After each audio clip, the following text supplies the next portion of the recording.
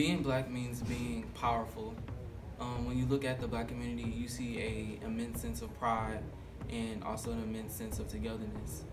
Um, you see our community with togetherness through Black Lives Matter, um, through even BRYC, um, when we are marching together, protesting the things that we believe in and the rights that we should have equally. Um, you see this through BRYC when we dedicate our time to each other, um, like when we all came together and volunteered on Martin Luther King Day. Um, you also see this uh, in our program, like in Ms. LaShawn's program. Um, when I win, we all win. When they win, I win. Uh, you won't see me researching a scholarship and not give it out to my fellow BRYC students, my black community.